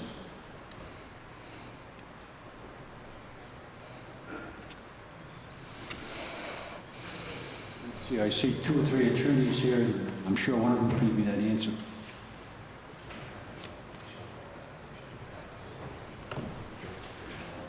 Mr. President, I would have to add that up. I don't have that figure. You couldn't give me a ballpark figure? I can't honestly give you a ballpark figure. I'd really have to look it up and, okay, I don't want to guess or speculate. I want to give you a proper figure. Well, um, I'll guess. I'm going to say somewhere around $100,000. Who paid his legal fees? Did the city pay Cranston, or did he pay his legal fees? Well, part of the resolution was the legal fees. Actually, was part of the total figure. That $215,000 was not just a bonus for him, it took care of his legal fees also? That's correct. Okay. This council, months and months ago, asked the administration to reinstate Patrolman Josephson to the rank of sergeant after the state police report came out. We were ignored. They wanted to go to court. And they did. And now it costs the taxpayers $215,000. Another black eye for this administration, but more importantly, the taxpayers have to come up with the mistakes that the administration makes. Now, I'm going to move on to redistricting. Can anybody in the administration give me a figure how much it's cost us in outside legal fees for redistricting in the First Circuit Court so far? Or do you have to add it up because I ain't got the figures in front of you? Or you can't give me a ballpark figure?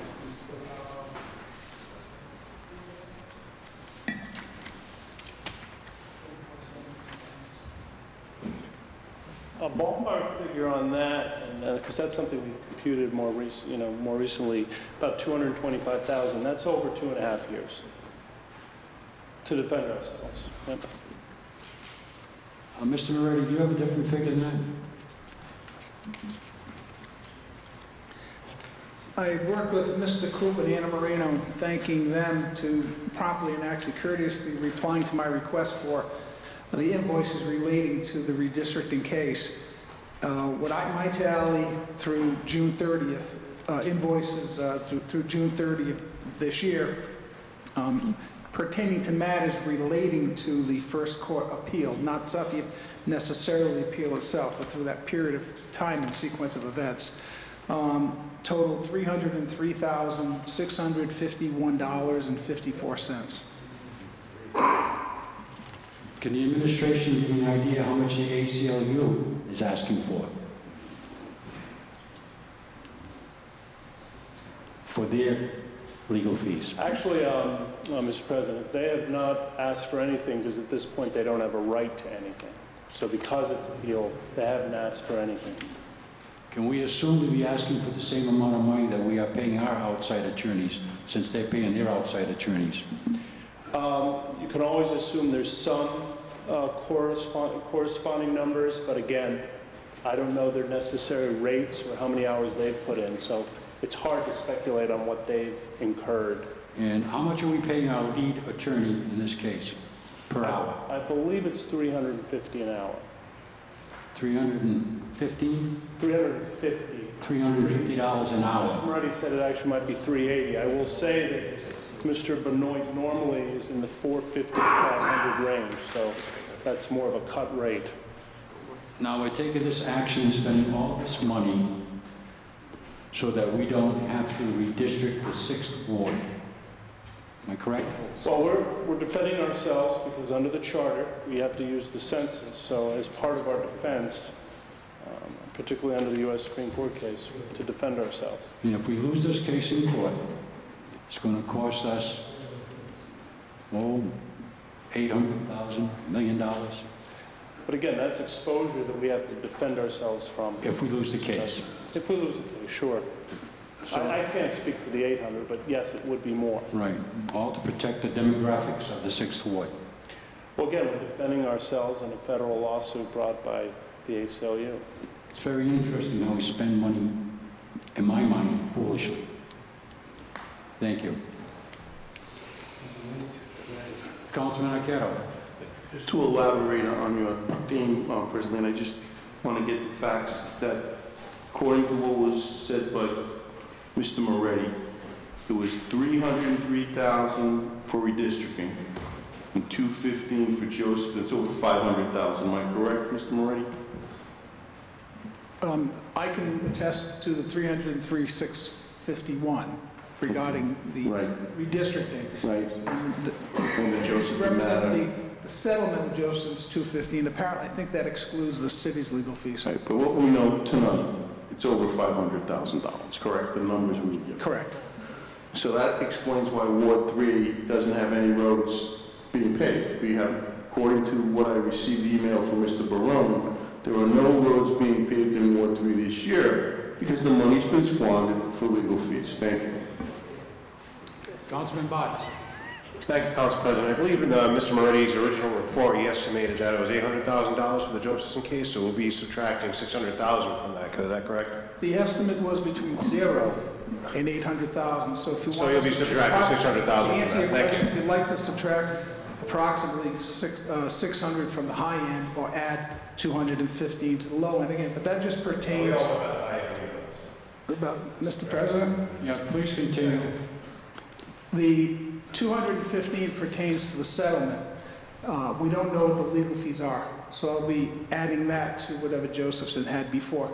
And that, um, there were still other costs with Josephson, so I'll be happy to, next month, report to you, uh, Councilman Botts, what the total would be for Mr. Josephson. Thank you. I think it just goes to how speculative the uh, report was. We really don't know what the costs were, and I think it was premature to release that, but thank you. In addition to that, I think we are paying legal fees to protect Palombo, uh, Antonucci in that case also.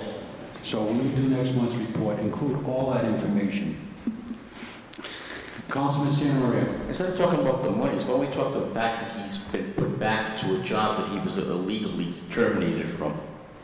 Let's not forget that.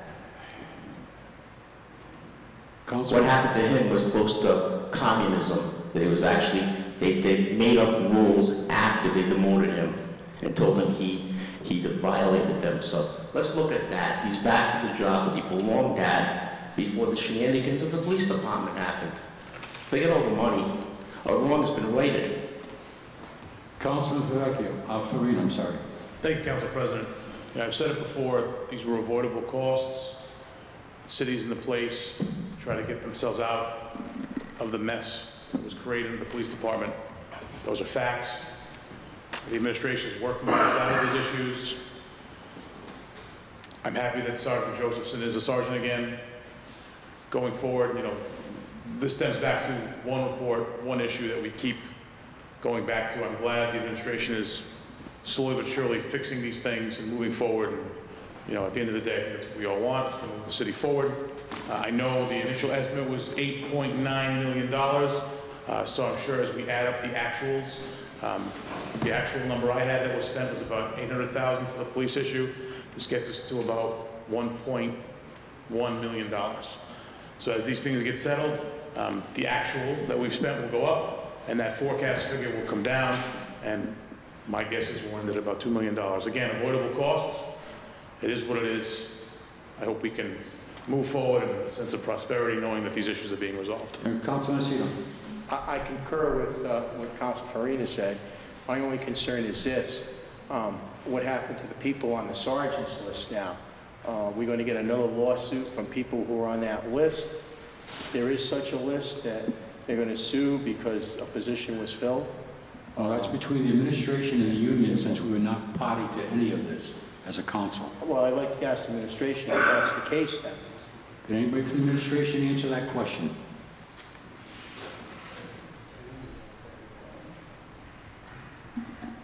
Settlement came about, Mr. President, in the form of a uh, order from the federal court. So uh, the union is aware of it, and they're aware that it's, um, it's a court order. And there's, as far as I know, they understand that it's, it's not fodder for, for a grievance or a lawsuit or anything like that. Councilman Santa Maria. May I follow up, Council Seaman? We- Go ahead, Councilman Seaman. Regard, Mr. Mr. Coop, regardless whether it's a court order or not, there is an existing list, correct?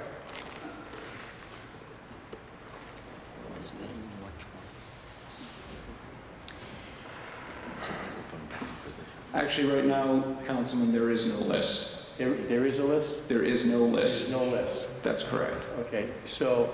the So no one- When did that expire? Do we know? Uh, It was recently, um, it did not expire, it was recently used up. It was used up? Yes. So a new list will be put into place. Okay, thank you. You're welcome. Councilman Santa Maria. Thank you. While we're on the subject, um, Director Coop or um, Solicitor Rawson, uh, while we're on the subject, what's happening with the Gilbold case? I think that's the only one we have left, hopefully. Um, That, that, uh, Mr. President, that is still pending. Uh, There's no active discovery at this point, so that's been kind of in a Have holding we spent um, any money um, so far? No, it's been, it's been pretty quiet so far this year. It's still in the discovery stage. We're into our fourth year on that, so. Okay, so um, will we start incurring fees? If discovery gets heated up, I'm not sure where that's headed. That's ultimately up to the plaintiff. So in indefinite period of time on that? Correct. Thank you. Uh, One question I want to ask the administration before I I recognize Councilman Stycos. Uh, Mr. Strong? Prior to the budget, I asked for um, a report, hard copy, on the cost of the state police investigation uh, in the suits and the settlements in the city of Cranston. Uh, You told me you're in the middle of a budget process and you couldn't do it, but you would do it after the budget. Do you remember that? Not really, Council. No, well, you did. You said that to me. Uh, I would like the administration to give us their version of what Mr. Moretti has done, so we can compare your report to Mr. Moretti's report and see if we need a third party to give an, uh, in, a, a- a different report based on both of your reports. Can you do that for me? I, per your, per your request, I will do my dump. Okay, any idea when we can expect it? A month, two months? Three months? November Um, 12th? Yeah, Christmas. Christmas, oh, that'd be good. Yeah, Christmas. I would say, give me a month. My last council meeting. Realistically, give me a month, and if I need additional time, I'll let you know. All right, thank you. Councilman Stycos? Just a, a question for Mr. Moretti and then I think a question for the administration. When, when um, you put your uh, numbers together for the Antonucci case and the cost of, uh, of that, did you include any costs for Stephen Antonucci's retiree health insurance? Since he was allowed to retire? Uh, Just one second, I want to make sure I answer you correctly.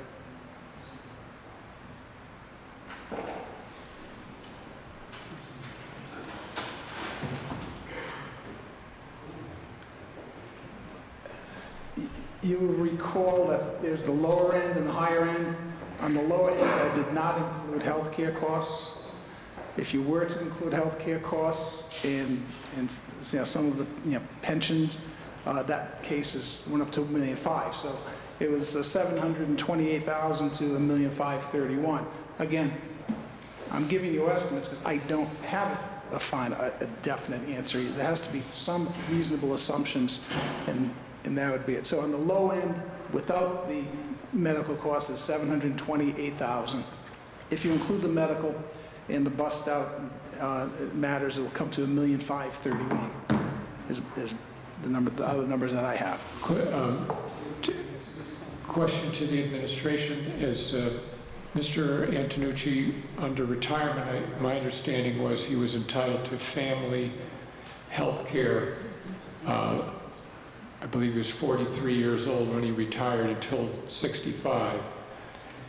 Uh, Unless he got another job, then he would be reimbursed the difference between the uh, the benefits that he was receiving on his new job and the benefits he would be receiving from the city. Um, Is Mr. Antonucci uh, receiving the full uh, health insurance through Based on, Cranston? yeah, based on his contract, he's entitled to family health insurance as a retiree. He was also entitled to family health insurance as an active employee as well. So he, either or, until he reaches age 65, he's entitled to health insurance. Now, as you just mentioned, if he pursues and gets a position tomorrow, two years from now, there will be an adjustment how much we have to pay for his health insurance, which is calculated by one of my employees.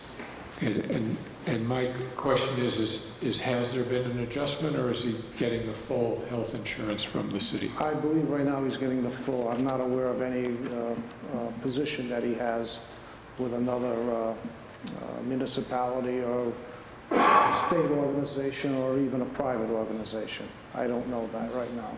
I do know that every year we get uh, people's W-2s sent to us and we adjust what they get for health care based on what they receive. Okay, And thank he'll you. be included in that. Now, if he does, if. he'll Say that again? He will be included in that analysis. Now, if he doesn't have a position, he'll continue to receive the full benefits. But as of now, he's getting full benefits. Yes. Thank you.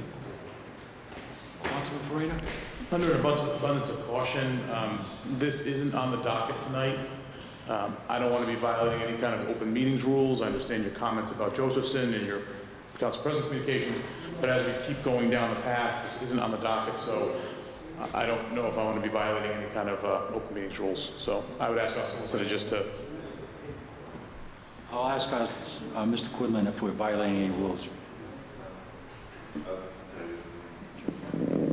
I do not believe this constitutes a violation of the open meetings law. I think it's a a progression of a discussion that was uh, led into by the Josephson settlement, which was in the newspaper today. But I think if it goes too far afield, it could.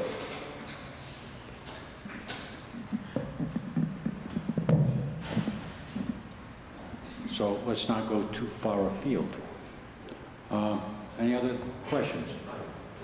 Hearing none, council member communications. Councilman Stycos, I believe you had uh, historic markers. Yeah, I just wonder if there's a, an update from the administration and and the status of this.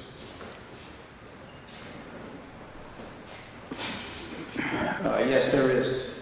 Um, We met uh, this week, and we reviewed different types of layout signs. So we're in the process of getting, um, getting prices on the signs. We have all the information that we're going to use on the first phase, which will go in front of Sprague Mansion.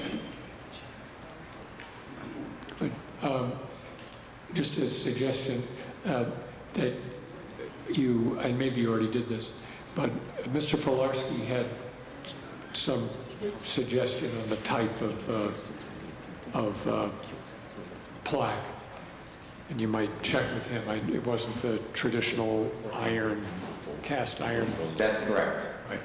No, this is going to be mounted into the ground, kind of a podium style. It'll be about 24 inches by 36 inches, and it'll have laminate with uh, description, with description of different um, historical marks in that area. And then they'll walk to the next, and, and they'll, you know, the more, uh, the information on the next step probably be like St. Anne's Church, that area. Then they'll walk further down Cranston Street where there's more historical stuff. And we're doing historical research on the uh, Knightsville Library. We're trying to find out what that site was, because we want to add that to the tour as well. Sounds good. Thank you for the report. Yep. Um, Just, uh, if I if I might, just a little uh, campaign story. I know we all have our, our little triumphs as we're campaigning, and we get lawn sign locations. And I, I think uh, most of you know that my wife is a, is a physician, and she had a, a patient come in to her office, and the patient said, I know your husband's last name is different from your last name, but I agreed to put a lawn sign up for him. And, uh, you know, my wife kind of nodded. And then the patient uh, paused and she said, His last name is Lanni, right?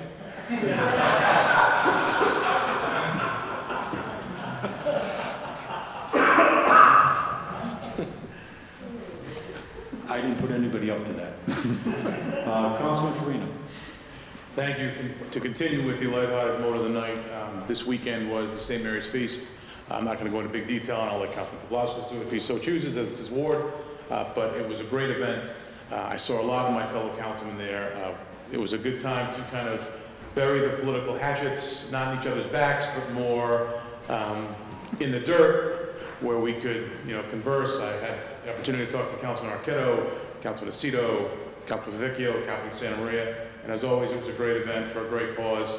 Uh, The city administration, many of the members were there, uh, various nights. Uh, We even had, I think God had the thunderstorm on Friday night go around us, because in western Cranston, where I live, it was literally ripping the siding off my house, and my wife asked me, where are you, you maniac? I can't believe you're out in this thunderstorm. I said, listen, God doesn't rain on the St. Mary's Feast. So thank you to the residents of Ward 5. Thank you to the members of the Feast Society who were on this body with myself. It was a great event, and uh, I was happy to be part of it. Councilman Santa Maria.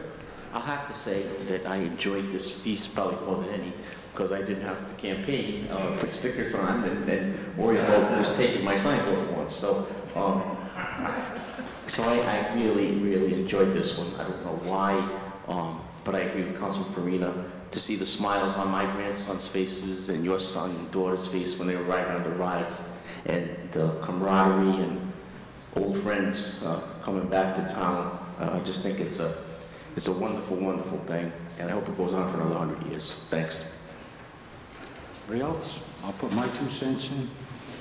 Uh, I've walked St. Mary's Feast every year since 1976, except for one year when I had a triple bypass. So other than that, I participated in that feast since I was a kid, a child, actually. Used to go by my house when I was very young. Uh, It's a great event, uh, historic event, and it says a lot about the culture that our grandparents and great-grandparents brought to this country, the trials and tribulations they went through um, to get established here, and how we've risen as a community together. And I think that's the most important thing about the feast. It's family, religion, and culture.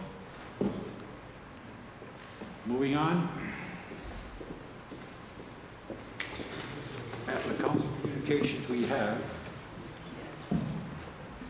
any old business? No old business this evening? Introduction of new business. Madam Clerk. We have proposed ordinance 7-1601, an amendment of Chapter 10.121990 of the Code of the City of Cranston entitled Traffic Control Signal Lights Authorized at Certain Intersections for Broad Street and Sheldon Street, to be referred to the Ordinance Committee for hearing on August 11th. The August meeting of the Ordinance Committee will be held at 7 o'clock rather than 6 for August. Proposed ordinance 7-16-02, an amendment of Title 12 of the Code of the City of Cranston entitled Street Sidewalks and Public Places for Bus Shelter Insurance, to be referred to ordinance for hearing on August 11th, again at 7 o'clock. Resolution urging the Cranston Housing Authority to initiate a recycling program at its properties to encourage recycling for residents of Cranston Housing Authority properties, to be referred to Public Works for hearing on August 1st. The following are property damage claims to be referred to the Claims Committee for hearing on Monday, August 1st. Ann Quinn from the alleged incident on April 4th, 2016. Brittany Boudreau from the alleged incident on May 3rd, 2016. Nan- Nancy Strululi from an alleged incident on May 3rd, 2016. Subrogation claim from Progressive for Kimberlin Torres from an alleged incident on May 12th, 2016. Lauren Soka from alleged incident on June 23, 2016. Phyllis Hicks from alleged incident on June 28, 2016. Lisa Marie Pagano from alleged incident on July 1, 2016. Frank Migleretti from alleged incident on July 1, 2016. David Nassa from alleged incident on July 4, 2016. And that is all. Is there any, is there a motion to refer, refer all matters to the city, uh, as read by the city clerk? Motion made, any discussion? Hearing none? Uh, The next city council meeting uh, will be Monday, August the 22nd. Is there a motion to adjourn? Through the chair, Yes. we didn't take a roll call on the motion to refer. Okay, take a roll call on the motion to refer, I was in a hurry. Clerk, please take the roll. Yes. Council Stycos? Council Botts? Yes. Council Garriott Yes. Council Lucido? Yes. Council Paplauskas? Yes. Council Delakia? Yes. Council Vice President Ram? Yes. And just one other item, the firefighters contract, um, I have, we have received the executed copy. Oh, good. Council President. Council President. Yes, Council Director. Did you say August 22nd or 29th? The, the, the website says the 29th for the next meeting. Fourth Monday, 22nd. Oh, well, I, just reading the, uh, the minutes, it says the 29th on here. That was Maria's fault. Oh, it does, you're right. Is it the 29th? No, no, what's the fourth Monday? There you go, there you go. It should be the 22nd. That's the fourth Monday. Second. It says here. It's got to be right. Paul.